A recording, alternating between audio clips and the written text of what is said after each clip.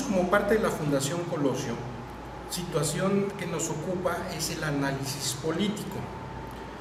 Si yo me voy en un análisis en las dos anteriores elecciones próximo pasadas en el estado de Guerrero, llegaría a la determinación de que la diferencia en votos en Acapulco, por ejemplo, fueron 70 mil votos más menos para efectos del candidato ganador. Este, y si me fuera al interior del estado o al estado en general, te podría decir que la, diferencia en votos más o menos fueron de 150 mil votos. Si yo hago un análisis de dónde vienen esos votos, en el caso que nos ocupa este, de las izquierdas, te podría decir que en el municipio de Acapulco se compusieron básicamente de dos ramas. Una de ellas MC o Movimiento Ciudadano y la otra el PRD. Y más menos los dos sacaron unos 70 mil votos y el otro 70 mil votos. Y esto baso mi dicho en el análisis de las dos elecciones anteriores, es decir, eh, cuando ganó Manuel Añorbe, salieron sin estar coaligados los partidos políticos, salió MC por su lado y PRD por su lado y el PRI por su lado. Y todos ellos más o menos sacaron 70 mil votos. Obviamente el PRI sacó 70 y tantos y por eso ganó. Pero cuando viene la elección en donde está el actual presidente Luis Walton, que salieron ahí sí en coalición, tanto el PRD como MC, la votación fue de más o menos 140 mil votos. Y el PRI repitió otra vez, otra vez más o menos 70. Entonces, si tú analizas las cifras, dices, entonces cada partido político en Acapulco está dividido en la intención del voto en tres. Uno PRD, otro Convergencia y el otro PRI.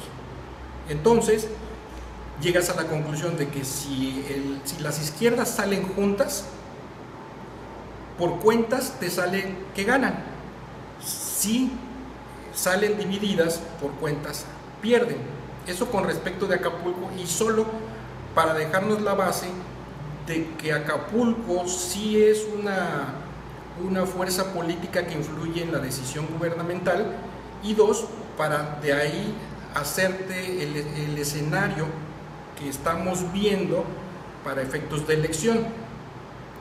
En el estado más o menos fueron 150 mil votos, pero estuvo compuesta la elección en donde ganó Ángel Aguirre, el actual gobernador, por una coalición de PRD, PT, Convergencia, y ellos sacaron por ahí, abusando de mi memoria, como 600 y tantos mil votos. Si tú haces eh, o, le, o le imprimes las modalidades que en esta elección se van a presentar, y que te las enumeraré, una de ellas es que no van a salir las izquierdas unidas en bloque y ese es un hecho, un hecho que te puedo fundamentar porque actualmente ya existe un nuevo partido político y es Morena. Morena ha sido un partido político que ha tenido un crecimiento exponencial que a estas alturas alcanza de un 15% de intención a voto. Y estos votos salen directamente pues, de la izquierda y se habla que en una muy buena medida son de exmilitantes del partido político PRD. Entonces, si, si tú vas teniendo un todo, un, este, una coalición, y le vas quitando esas pequeñas partes, te queda que Morena, al escindirse o al participar de manera individual, se lleva una parte de esos votos que van pegándole a los 150 mil votos de diferencia con los cuales ganó la elección próximo pasada la coalición del PRD, en donde está el gobernador Ángel Aguirre.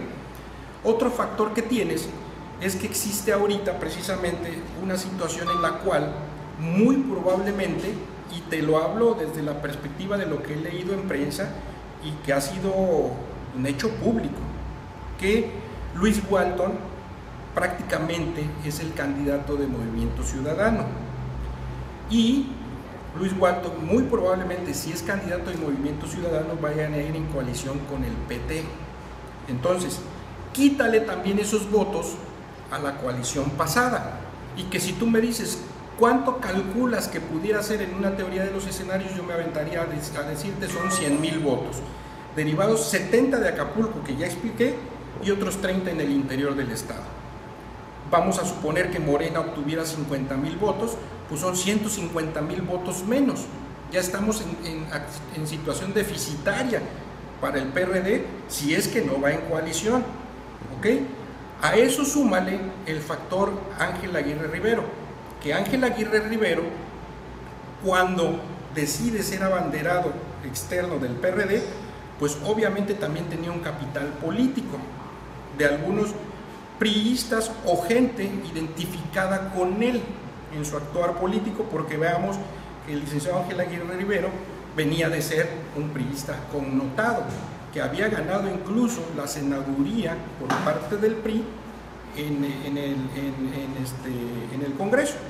Entonces, si, hacemos unas matemáticas en una teoría de los escenarios, estamos hablando que la coalición, que en esta ocasión no va a existir, va a tener 200 mil votos menos, más menos.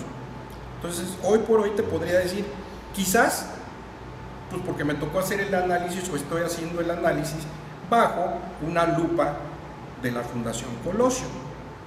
Pero si hoy fueran las elecciones en ese escenario en el que nos encontramos, yo diría que tiene muy buenas posibilidades el PRI en competir y ganar. Y todavía te, fundamento el, dicho, o mi dicho, en que se han corrido ya varias encuestas de, de las cuales ustedes tienen conocimiento, muchas de ellas se han subido a las redes, otras de ellas han aparecido en diarios de circulación nacional, en donde te dice que hoy por hoy, sin determinar candidato, prácticamente están en empate técnico el PRI y el PRD.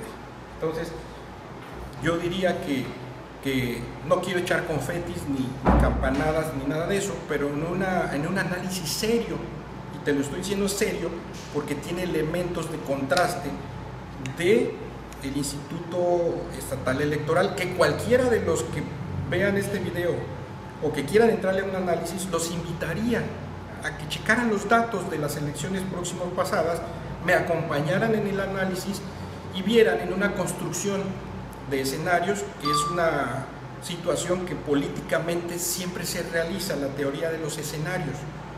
Entonces verían que con los datos que tenemos y en una perspectiva, en una construcción de perspectivas, son los resultados que técnicamente tendrían que arrojar. Obviamente, varían las condiciones, varían los resultados, pero hoy por hoy me podría yo aventar a aventurar el hecho de, que de decirte que en una teoría de escenarios como la que planteé, prácticamente el PRI podría ser el que ganara las próximas elecciones.